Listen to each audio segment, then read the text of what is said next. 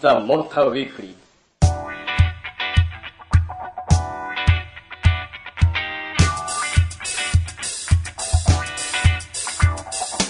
岩佐成美子ナビゲートでお送りしています。ザ・モーターウィークリーここからの時間は自動車業界でご活躍中のモータージャーナリストをお迎えしてお送りしていきます。今日のコメンテーターは石井正道さんです。よろしくお願いします。はいよろしくお願いします。あの先ほどちょっと打ち合わせの時に出てきたんですが石井さんは、えー、中学生時代に陸上部だったと。ああはい。いうことですけれども、はい。ええ。じゃあ夏には強い。そんなことないですね。あれ？ええ。暑がりですかなりの。あそうですか、はい。でもあれですよね。やっぱ陸上部ってことは学生時代にあの当時はあの水もあまり飲まず？そうですね、うん。飲んじゃいけないって言われて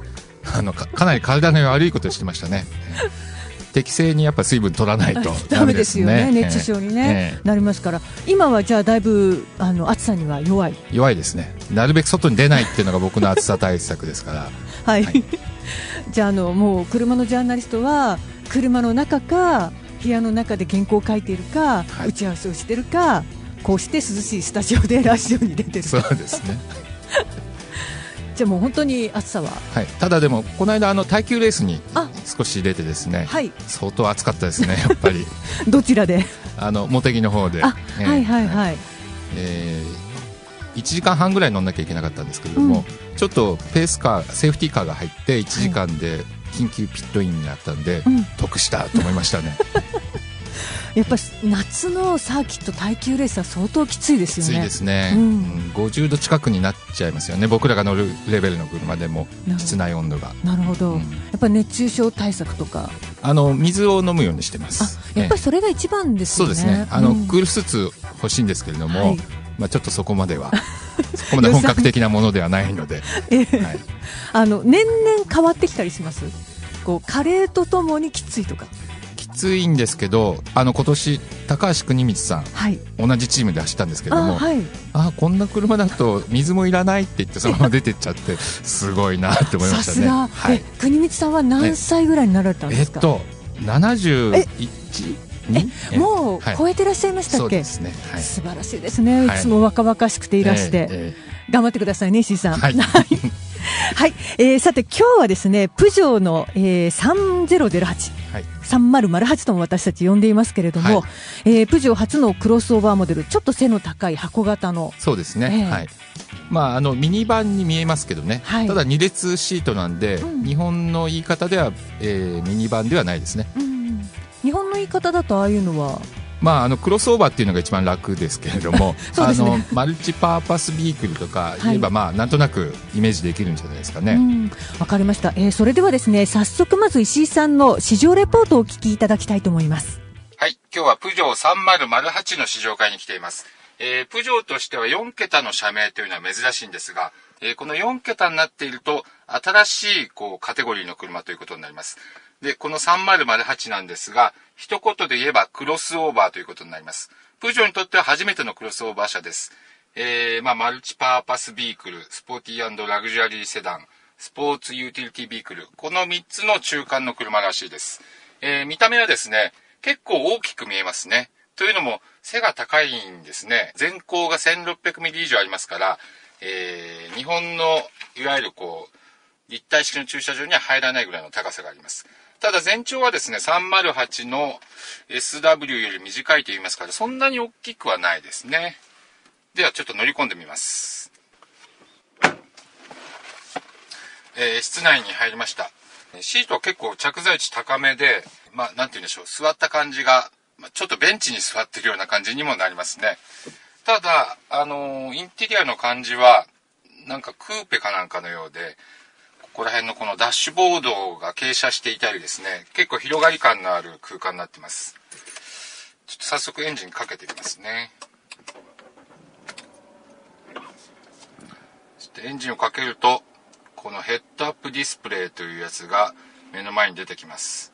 あガラスにあのスピードメーターなんかが映り込んでるんですね。はい、じゃあ早速走り始めたいと思います。やはり高いところに座ってるんで見晴らしがいいですね。えーまあ、スポーツカー好きな人はちょっとあんまり好きじゃないかもしれませんが、ミニバンなんかに慣れてる人にとっては運転しやすいかもしれません。エンジンは1.6リッターの直噴ターボです、えー、シトロエンの DS3 であるとか、まあ、ミニなんかも同じものを使ってますがこの1500キロもある車重の車に対しても最大トルク240ニュートンメートルありますからもう軽々と走ってくれますね。そしてフランス車はあのオートマチックが4速だったりすることが多いんですが3008は6速 AT です、まあ、これも結構嬉しいかな。あんまりやっぱりエンジン回転引っ張んないですもんね。もう2000回転ぐらいでもトントンシフトアップしてって十分に交通の流れに乗っていきます。今ちょっと道が荒れてるところ走ってますが想像以上に乗り心地はいいですよ。あのこういう背の高いちょっと重い車っていうのは、まあ、安定性を出すためにはサスペンション固めにしないといけないんですが全くね今のところ硬さは感じないですね。それとロードノイズもそんなに大きくないです。というのもこれと同じプラットフォームの308のハッチバックであるとか、え、308cc っていうのは結構あの楽しい車なんですけれども少しロードノイズとか大きいんですよね。それに比べると随分静かになったなという印象です。まあやはり、えー、ハッチバックはどちらかというともっとスポーティーなイメージだと思うんですがこの3008はラグジュアリーという言葉も入ってますから、えー、その辺静音性なんかも頑張ってるのかなという気がします。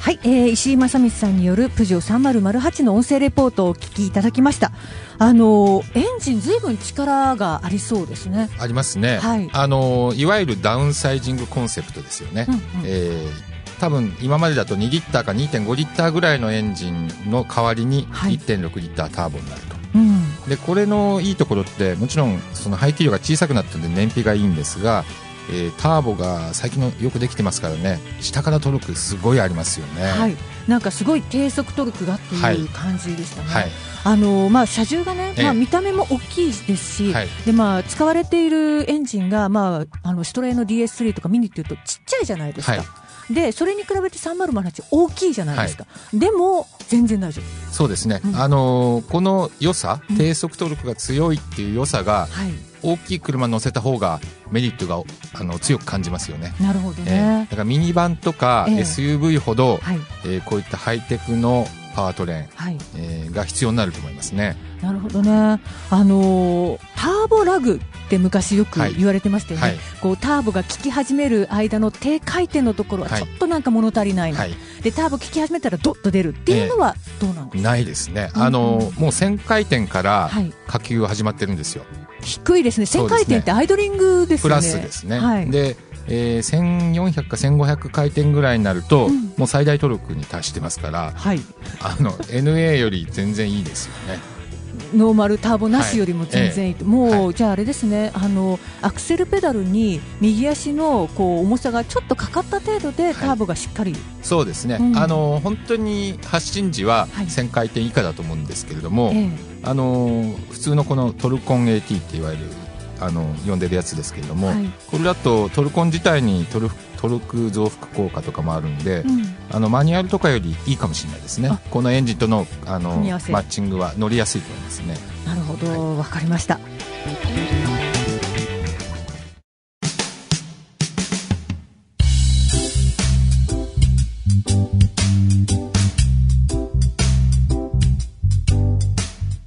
岩須田ルミ子ナビゲートでお送りしています。ザ・モーターウィークリー。コメンテーターには石井正道さんをお迎えしています引き続きプジョー3008についてお送りしていきますが、えー、今度はワインディング走行についての音声レポートをお聞きください。はい今度はワインディングに来ました。ちょっとね軽くアクセルを踏んで加速したいと思います。うん1.6リッターとやっぱ思えないですよね。最大トルク240ニュートンメーターですからまあ NA エンジン2.4リッターぐらいのトルクがあるという感覚、えー、1500キロの車重でも十分上りでも加速してくれますね。やっぱりここでもあの6速 AT になってるっていうことが結構美味しい部分を使えるという意味では嬉しいですね。あのマニュアルシフトもできるんですがさすがにシフトダウンのグリッピングはないようですね。そこまでスポーティーな車ではないという感じでしょうか。あと今コーナーをいくつか走ったんですがこんな背の高い車でこういう状況を楽しむようなあのイメージはなかったんですけれども結構よく走ってくれますね。あれだけ乗り心地がいいんでロールとかピッチングっていうのがまあ起きてもしょうがないなと思っていたんですが全然乗ってるともうハッチバックと変わらないぐらいの感覚でコーナー入っていっちゃいます。やっぱりあのー、ダイナミックロールコントロールこの辺りが効いてるのかな。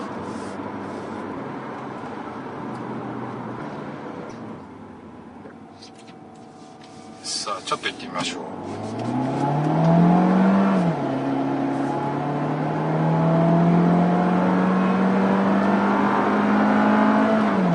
あこのエンジントルクがあるだけじゃなくて上の方も結構気持ちいいですね。1000回転オーバーまで結構スムーズに吹け切っていきます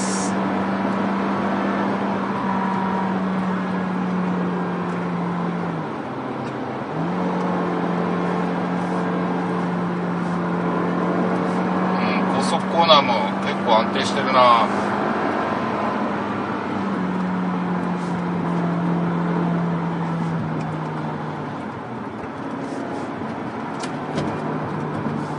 今橋の上でコーナーリングする部分だったんですがここだと結構路面が変わるんでコーナリング中に揺すられるんですよね。でもサスペンションの吸収性がいいんで全くこう不安感がないですね。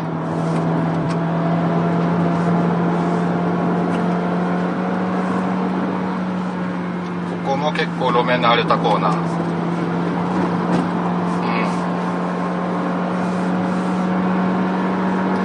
か全然こうツンツンするようなところがなくて、えー、しっとりした感覚がありますね。すごくスポーティーというわけではないんですけれどもどんな状況でも安心してコーナリングできるという感じがします。でも結構速いな。下手なスポーツモデルよりなんか楽しいかもしれないですね。さすがクロスオーバーと言ってるだけあって、えー、プジョーのハッチバックが持つスポーティーなキャラクターもちゃんと持っているというところです。はい、えー、石井正道さんのプジョー3008音声レポートをお聞きいただきました。えっ、ー、と、ちょっとね、あの、難しい言葉がいくつか出てきたので、はい、えー、少し教えていただきたいんですが、はい、あの、まあ、6速 AT を使っていて、はい、えー、マニュアルモードで走ってる時に、えー、シフトダウンのブリッピングがない。あはいはい、はいはい、このブリッピングとは？あのー、エンジンの回転数を上げて、はい。えー、スムーズに、はいはい、もっと早く素早くシフトダウンしてくれるのがスポーツカーなんかでは結構ありますよね、うん。ええー、そのエンジンを回転数をブーンってやるのがないんですよね。要はシフトダウンしていくときに、ギアがこうスムーズに落ちていくように、エンジンの回転数をうまくコントロールをするのは特にはついていない、そうですね、はい、でもなんか問題なさそうにぐいぐい走ってましたね。はい、あの結構楽しかったですよ。そうですね。びっくりしまして。早いなって出てましたけど、はい、であのー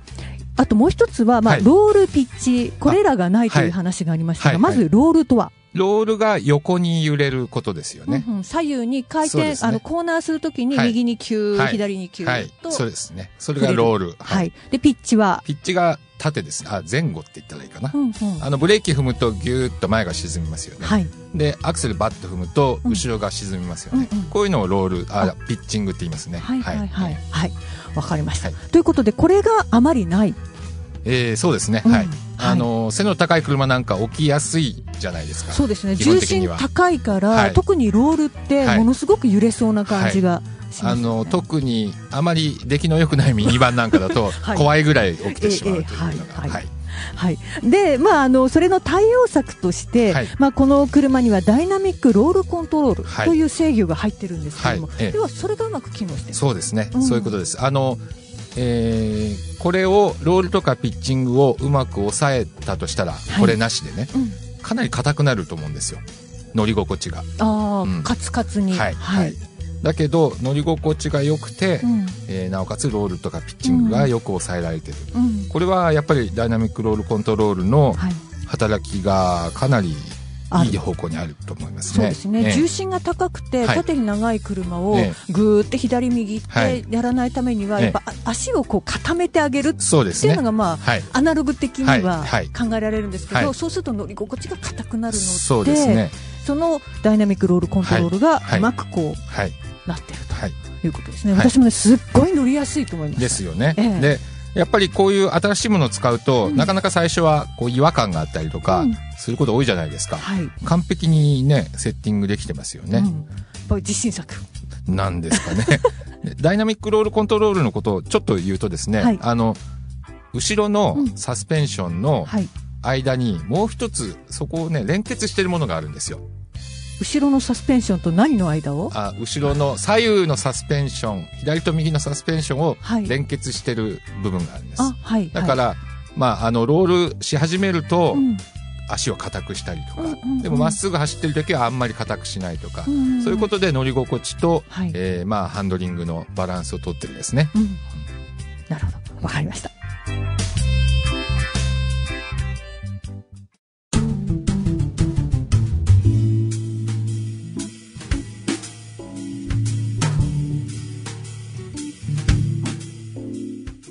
岩貞ルミ子ナビゲートでお送りしていますザ・モーターウィークリー。本日は石井正道さんと一緒にプジョー3008についてお送りしています。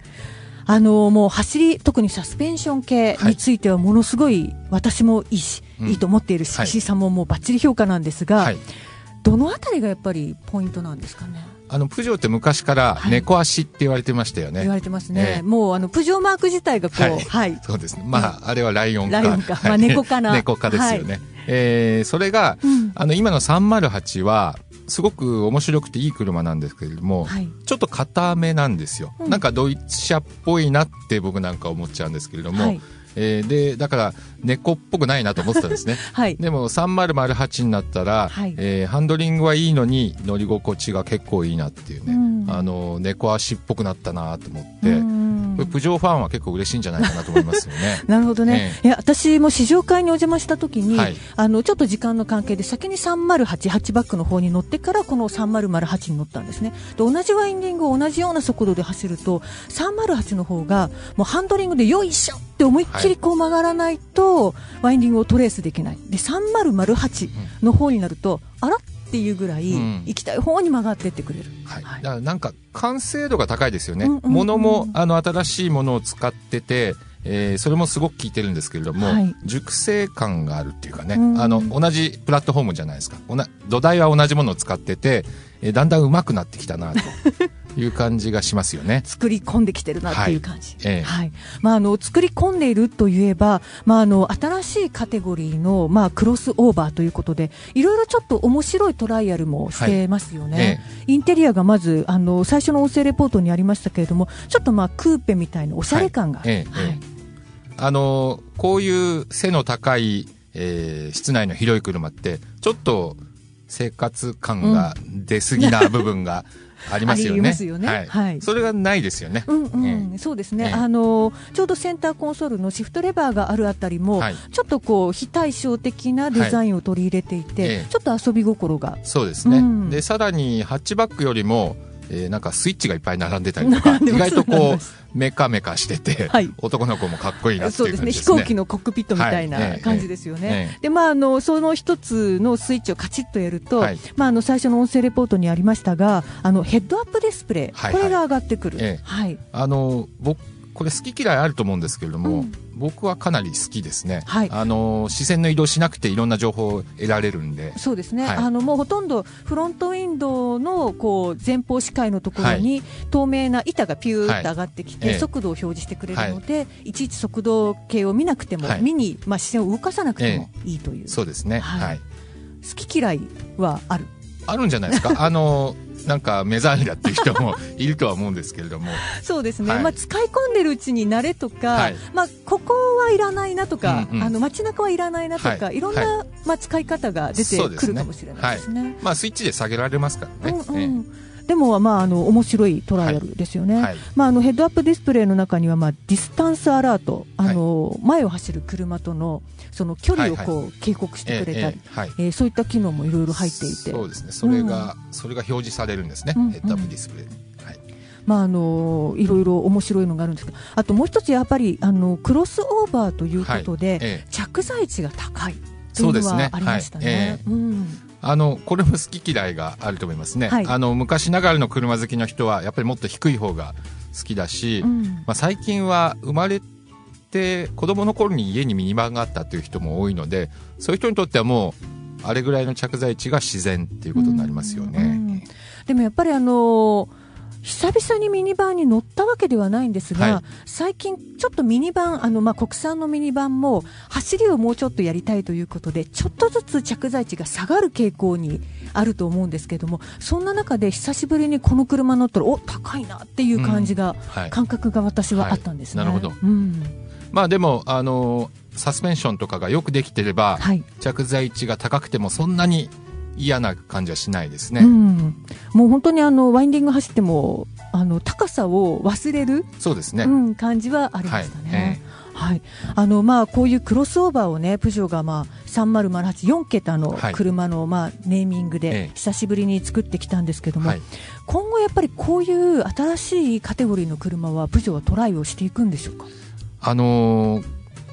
ヨーロッパって保守的じゃないですか、はい、僕らが思ってる以上に。い。まだにマニュアルミッションが多数派ですもんね、うんうん、で、えー、ミニバンとか SUV っていうのは日本とかアメリカはすごい流行ったんですけれども、はい、ヨーロッパあんまりいないですよね。えー、みんな背が低い車が多いんですけれども、ねはい、なんかもしかしたら、ようやく保守的な人たちがこの広さの価値に気がつき始めたみたいで、うん。ええー、プジョーが思ってる以上に売れちゃってるんですって。ヨーロッパでは。ヨーロッパでも、はい、だから生産ラインを増やしたぐらい売れてるらしくて、ええ。ー、だからだんだん あの日本とかアメリカより10年ぐらい遅いような気がするんですけれども、えこういうのが流行ってきてるのは確かですね。マルチパーパスブームがひたひたと来ている、はいはい、あとね小さめの SUV とかも売れてますし、うん、まあ、その代わりハッチバックやセダンが売れなくなってきてますね。あやっぱりこう、全体の数というのは同じだからどこがどう食い合うか、そうですね、うん、そういう意味ではあの3008みたいなタイプの車っていうのは増えていくと思いますね。うんでもあのああいう背が高い、まあ、タイプの車が増えてきてもやっぱり走りがいい車が欲しいという、まあ、そういう開発をしているプジョーが作ってくるとあれだけ走りのいい車が出るわけですからちょっと国産メーカーもうかうかしてられないというか。そうですね、えー、あの国産メーカーの場合はいかに渋滞の中であの退屈しないかっていうことを考えてますんで、えーえーはい、ヨーロッパのメーカーの場合はやっぱり走ってなんぼっていう感じは受けますよね。うんうん、じゃあこれからあの3008に続くマルチパーパスというか、はい、クロスオーバー系の車ちょっと期待できそうです、そうですね、うん、でさらにこういう車だと燃費が悪くなりがちですけれども、はい、えー、3008は来年になるとディーゼルハイブリッド、はい、これを出すということなんで、はい、まああのー、こういう車出すんだったら、ええ、ちゃんとしたパワートレーンもちゃんとしたというか効率的なパワートレーンを使っていこうという考えも見えますよね。楽しみですね。はい。はい。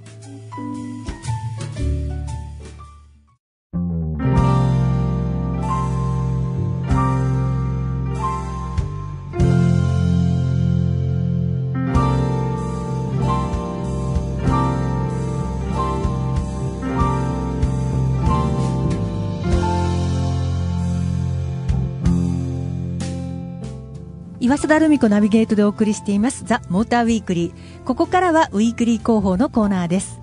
本日はアルパインマーケティング株式会社事業企画部ブランドプロモーショングループの水野洋介さんにお話を伺っていきます。よろしくお願いします。よろしくお願いします。はい、引き続き石井さんにもご同席いただきます。よろしくお願いします。はい、よろしくお願いします。はい、えー、今日はもうカーナビのアルパインさんということで水野さんにお越しいただきました。はい、はい、えっ、ー、と新製品が出たということで、えー、ちょっとそのあたりをご紹介いただきたいんですけれども、はい。はいえー、そうですねあの今回私どもが、はい、えー、ご紹介させていただきます商品は、えー、市販市場としてですね、えー、史上初のえー、大画面サイズを採用しました、はい。えー、LED カーナビゲーションビッグ X をご紹介させていただきたいと思います。はい、えー、今、えー、私たちの手元にこのサイズ感が分かるものがあるんですけども大きいですよね石井さん。大きいですね、はい、あの僕 iPad 持ってきたんですけれども、はい、横は一緒ですよね。そうですね。内寸ね。画面の部分は。ね。はい、はい、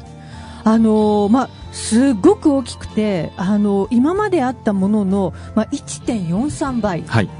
あのもう見るからに大きいという感じなんですけれども。そうですね、えー、あの従来ですと、はい、どうしてもその従来の7インチサイズ、うん、えー、こちら側のどうしても自動車メーカーさんの、えー、オーディオが入っています。寸法。これに合わせて作られていますので、はい。えー、8インチなんていうものがですね装着はできないと いうふうに言われていたんですけど要はあの土地がないとそうですね。入れるところが器が、はい、建物の方が大きいとい。うふうになっていたんですけども、はい、えー、今回私どもは、まあ、やはりですねお客様の利便性を追求した結果えー、やはり大画面でナビゲーションや、えー、DVD や地デジこういったものを楽しんでいただくために何としてでもですね8インチサイズを車の中に装着していただこうと、はい、そういうことで、えー、周辺のパネル、はい、これも車種ごとにですね専用のものを開発することによってえー、従来できないと言われていた1.43倍の大画面も車に装着することができるようになったんです、はい、もうつまり車の内装ごとこのカーナビに合わせて取り替えてしまおうと、はいそうですね、ええ。その車種に本来装着できないんだけども、はい、えー、もう周りから全部作り直すということで、えー、装着させてしまうと、はい、いうことを実現しています。はい、あのー、本当に大きいんですけども、あのカーナビってこういうやはり大きいその画面の需要というのは高まっているんですか？えーと逆にですね、はい、今回弊社がこちらの商品を出すまでは一般のお客さんの中にはえー、こんなに大きいものがつくっていうイメージがまずないので、うんうん、流行っているかと言われると、はい、まあ、今後私どもの商品の販売の傾向によると思うんですけども現状ですね車種専用のこちらの商品を買っていただいたお客様からはやはりその大画面というものを今まで体感しなかったけども、まあ、これが今後ますます拡大していくんじゃないかなって言っていただけるように